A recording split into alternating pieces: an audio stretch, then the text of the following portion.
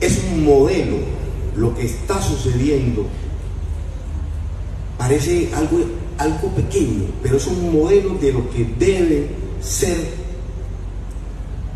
la nación, el país, integrarnos. No podemos seguir trabajando aislados. Cada quien desde su negocio, desde su oficina, obviamente que tiene que poner un grano de arena, pero eso tenemos que juntarlo. Y ustedes hoy están haciendo eso. Bonitas palabras, bonitos reconocimientos, qué bonito que esto se haga en vida. Es que ya cuando uno se va, ya para qué los reconocimientos.